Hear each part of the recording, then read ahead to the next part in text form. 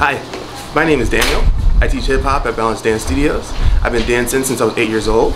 Hip hop is one of my favorite styles to do, and I was born and raised here in Austin, Texas.